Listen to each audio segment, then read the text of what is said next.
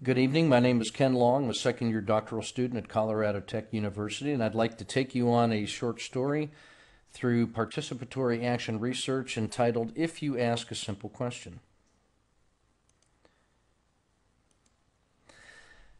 I'm a retired Army officer with 25 years of service, working now as an assistant professor of force management and sustainment at the U.S. Army Command and General Staff College at Fort Leavenworth, Kansas. I'm the chief of curriculum development for one of the five departments, the Department of Logistics and Resource Operations, which is responsible for 15% of the annual coursework for all Army majors that attend Command and General Staff College. I'm a second year doctoral student at Colorado Tech in the, in the Doctorate of Management program, and my research interest is in action research inquiries into course curriculum and educational environments at the Command and General Staff College and in adult education in general. By way of background, the Command and General Staff College is one of four primary educational institutions in the Army. It instructs all Army majors in campaign operations and planning and large unit management. It falls underneath the Training and Doctrine Command, which is responsible for all Army recruitment, training, and education, the development of doctrine and concepts, and the management of all schools. Our sister organizations are the Materiel Command, which provides and acquires and sustains Army equipment, and Forces Command, which brings together materiel and personnel and integrates them into ready units and provides those forces to regional commanders called geographic combatant commands, which are forward deployed globally and who command operational units and perform missions. They also serve to identify the requirements that the organizations in blue are designed to create. We all fall underneath the Department of Army, which is responsible for plans and policy and operational support and employment.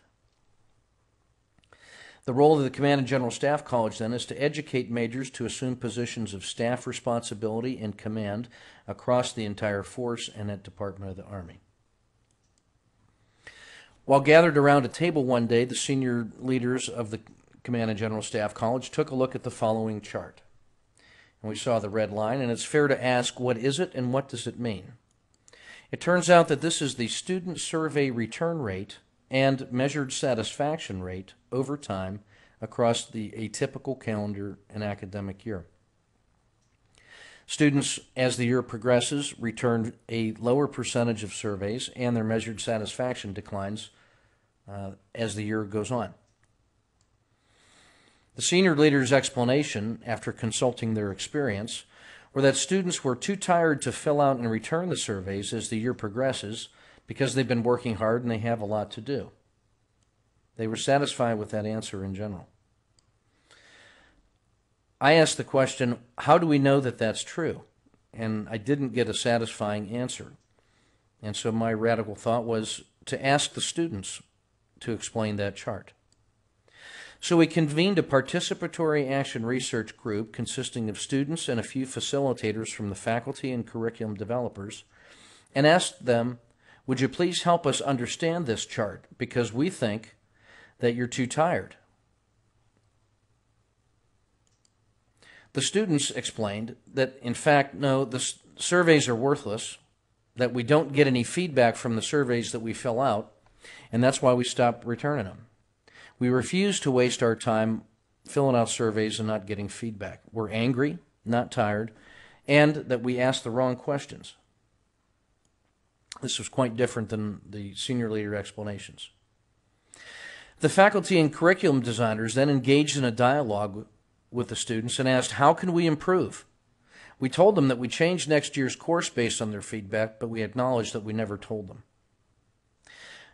we asked, how can we make the feedback system more worthwhile? How can we satisfy you with the feedback that you get? And what questions should we be asking? It's important to note that four out of those five responses to the students were in the form of questions asking for more information, and only one of them about changing next year's course was a point of clarification.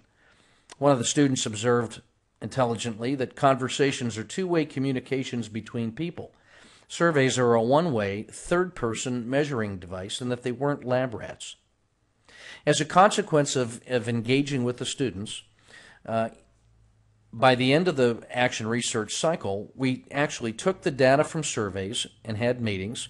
We turned that into information that we were able to create meaning from, which was turned into action and led to increased satisfaction of students, of faculty, of curriculum designers, and senior leaders. The dialogue we engaged in improved a specific feedback system, improving understanding and cooperation. Senior leaders were open to the results that were provided. Along the way, we identified five questions that students believe we should ask of every class. The five questions triggered the next phase of the participatory action research and produced a pilot feedback sy- system which led to improved student satisfaction and improved teaching practice.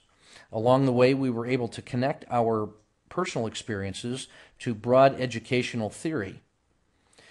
Also, coming out of the specific improvement was the concept of voice that emerged from multiple cycles of the participatory action research.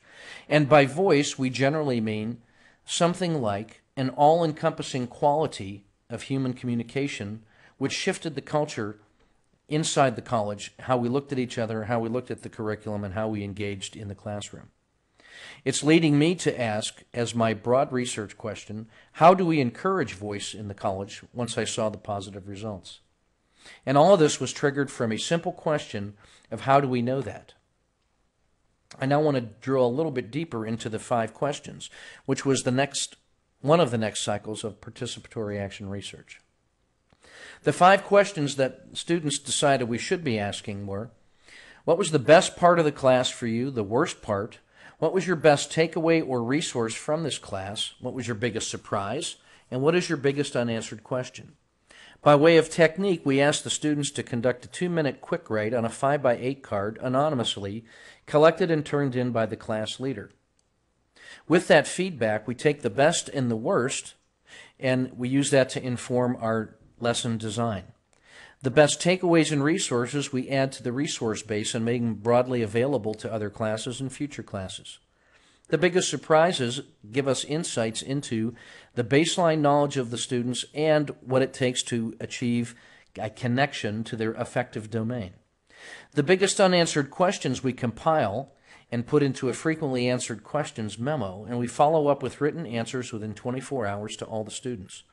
This serves to improve our knowledge and resource base, improves our faculty development program, and informs future lesson design.